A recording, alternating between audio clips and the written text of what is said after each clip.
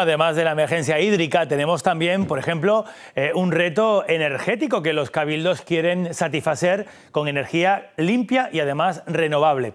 Un reto que el Cabildo Gran Canario quiere afrontar con su agenda de transición energética que aspira a que sea renovable el 60% de la producción energética en 2030, 100% ya en 2040. Agenda que quiere involucrar a agentes sociales, empresariales y ciudadanos presentamos una agenda viva a la participación de todos los sectores, pero con un análisis certero de por dónde tenemos que, avanzar. tenemos que avanzar con un mix de energía limpia, donde estén la eólica marina, la eólica eh, terrestre, la fotovoltaica, el autoconsumo.